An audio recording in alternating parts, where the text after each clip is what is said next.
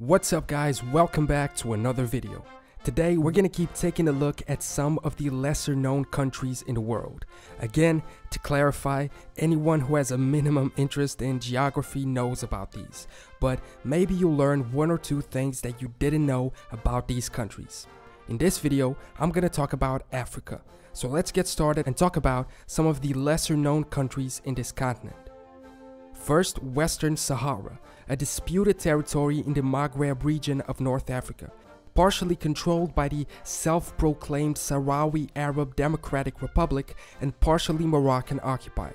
It's bordered by Morocco to the north, Algeria to the northeast, Mauritania to the east and south, and the Atlantic Ocean, covering a pretty huge amount of land, around 266,000 square kilometers. It's mostly desert, making it one of the most sparsely populated territories on Earth.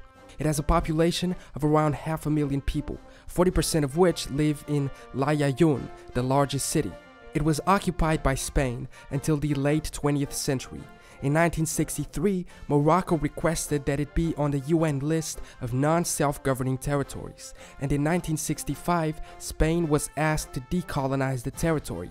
So, in 1975, they handed it over to a joint commission of Morocco and Mauritania. A war broke out between these two countries and the Sahrawi nationalists, which proclaimed the Sahrawi Arab Democratic Republic. Today, Mauritania has withdrawn any claim to the territory, but Morocco remains the de facto ruler, with the UN still claiming that the Sahrawis have the right to self-determination. On the other end of Africa, we have Djibouti. Djibouti is a country located on the Horn of Africa. It's bordered by Eritrea in the north, Ethiopia in the west and south, and Somalia in the southeast, as well as the Red Sea. It was part of a lot of ancient kingdoms and sultanates, like the Kingdom of Aksum or the Sultanate of Somali or Far. It then became a French colony and in 1977 got its independence in a vote. Their country is named after their capital city, also named Djibouti. They joined the UN in the same year as their independence.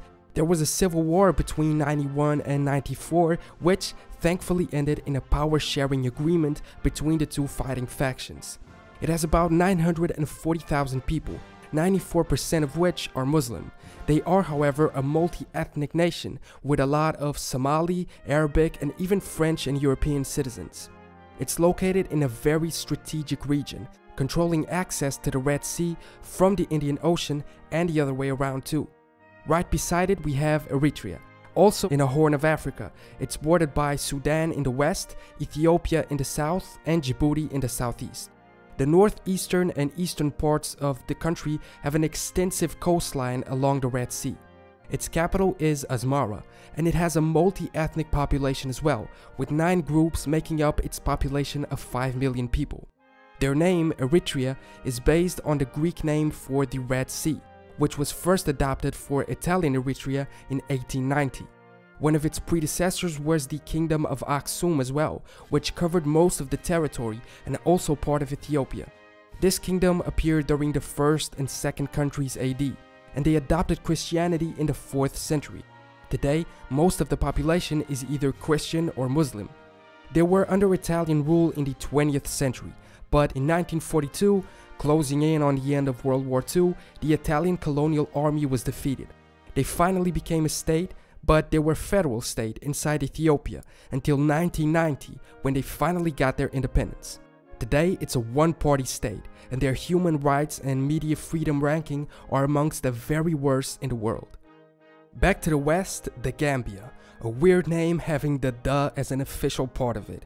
It's the country in West Africa that is entirely surrounded by Senegal, apart from its Atlantic coast. It's the smallest country on mainland Africa. Its name comes from the river that flows through their land, the Gambia River, Despite having only around 10,000 square kilometers, they have a population of almost 2 million people. Its roots are related to slave trade during colonial times. The Portuguese were the first to establish a colony on the coast, choosing that location precisely because of the river. In 1765, it became a part of the British Empire, renaming it to Senegambia. They finally got their independence in 1965. All the way in the south, we have two landlocked countries inside South Africa. First, Lesotho. It's an enclaved country inside South Africa with only about 30,000 square kilometers. It has a population of over 2 million people with their capital in Maseru. They were previously known as Basutoland, but then they changed it to Lesotho, which roughly translates to land of the people who speak Sesotho, a native language which is still one of the 11 official languages of South Africa. They were first ruled by a king called Moshoeshoe in 1822, being annexed by the British Empire in 1868. Finally, in 1966, they became independent from the United Kingdom. The other landlocked country inside South Africa is Swaziland. Their flag contains what seems to be a Zulu shield, very present in the region. Let me know in the comments below if you want to see a video about the Zulus in Africa, they have a pretty interesting history. It's bordered by Mozambique to the northeast and South Africa in every other direction. The country and its people take their names from Mswati II, the 19th century king under whose rule Swazi territory was expanded and unified. So the population of about 1.3 million people is primarily ethnic Swazis, whose language is also called Swazi. It was established as a kingdom in the mid 18th century but the present boundaries were only drawn up in 1881 in the middle of the scramble for Africa by European powers. In 1903, they became a British protectorate as well after the Second Boer War, gaining their independence in 1968. They have a pretty strange power system.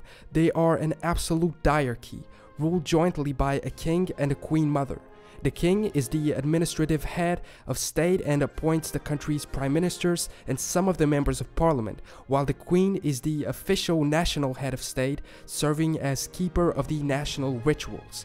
They do, however, have elections for the remaining seats in the parliament. Traveling north, Burundi. The Republic of Burundi is a landlocked country in the African Great Lakes region of East Africa.